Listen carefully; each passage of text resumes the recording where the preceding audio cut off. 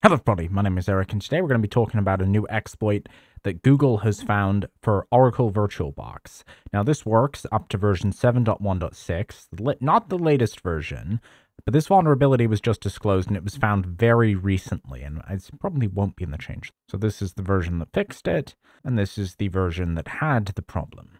And all previous versions also likely have this problem. So what's wrong exactly? Well, let's see what Google thinks. And then I'm also going to try, I have tried the new OpenAI Codex thing, uh, which just came out, which is not just for coding, but they also say it can analyze and find bugs. So I wanted to see if it would be able to discover this bug automatically. Uh, of course, prompted with the right information, it would be easier than doing anything useful, but it would be an interesting still. So let's see. An integer overflow vulnerability exists within VM SVGA 3D Surface MIP buffer size. That is a VirtualBox implementation of a VMware graphics device. As I have mentioned in my previous video about VM escapes, this is unfortunately how most most of the time it's going to be the graphics device or another complicated piece of emulated hardware because there's just more that can go wrong.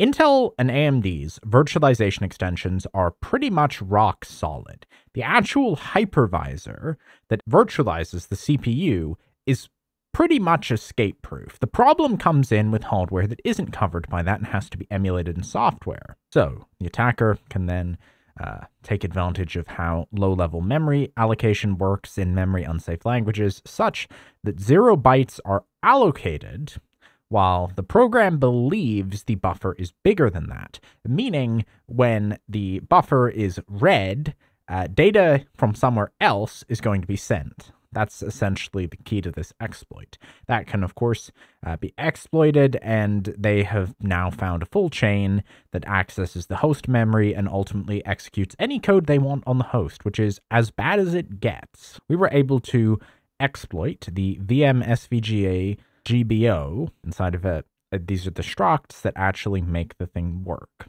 They allocate a surface, which is where the actual bug is, a buggy surface, and they allocate the GBO, and that's, I guess, so they can figure out where in memory they are, because they read into that, which points to something else in the host. That's kind of the the key enabler here. Can allocate heap memory, and then they can ultimately break out of memory randomization, if you've ever seen any of the videos where I use the debugger, you see that on modern versions of Windows, all of the memory addresses in a program are randomized so that you couldn't just jump to a piece of memory. But that doesn't stop you if you've uh, got the pointer to a different structure and they can just kind of walk around the function that way. And ultimately, this ends up, there ends up being a ROP chain. Remember the Call of Duty video that led to this disaster. So they get that, and now the now the LCE chain has executed, so there's trouble. There are a few other things they found they could do. Of course, on VirtualBox, the VM SVGA is the default uh, graphics adapter for Linux and is also often used on Windows guests, so this is quite a, a, broad attack surface. So then, does this mean that testing malware on a virtual machine is now no longer safe? I don't think so, but I do think you have to be cautious. Reason this isn't likely to get exploited en masse in the wild it's finicky, right? You'd need to know what version your victim is using. You'd need to have a very good indication that whoever you wanted to target was using a VM.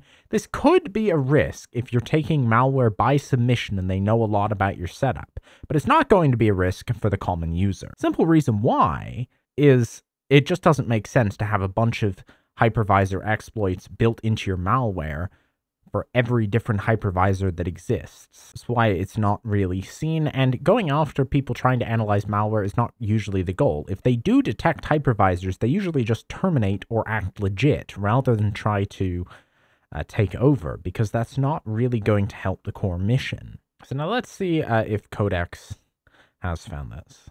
The thing I have noticed, and I don't know if it's because VirtualBox has worse security or if it being open source makes it easier to do this kind of research on, but it seems like most of the, or there are a lot of uh, VirtualBox vulnerabilities. So I don't use VirtualBox, but that's just a personal opinion. Like we can see this one from Pwn2Own from 2021, uh, and that was also VM SVGA. Might be worth trying to rewrite uh, this whole thing in something more secure. And then this one was actually uh, eventually worked its way out. Well, let's see what Codex has to say about this. So I asked it to look for vulnerabilities, especially related to integer overflow. I gave it the file and I gave it the core problem. Now, it pretty quickly figured out. Uh, it found the right function, right? If we remember, if we go back to the Google report, up, it is this function. Uh, it has a guard on most multiplications, but the pitch computation is not guarded, which ultimately, because of how this is computed, means that that can escape to everything else. Now, we could try asking more about whether, um, if it can determine that out. This uh, program takes a while, so we'll just give that some time. It catches this unchecked multiplication, which ultimately turned into this uh, disaster. Now, whether there are other problems in this file yet to be found, we, we don't know yet. And that is the problem. They found this one, but there could be there could be more trouble. And ideally, if these AI anal analysis tools can get better, that could be one countermeasure. But I think the key thing is minimizing the attack surface, writing as much as possible in memory safe languages.